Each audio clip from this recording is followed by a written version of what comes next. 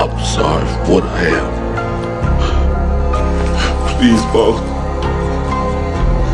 Don't put that thing over my face. Don't put me in the dark.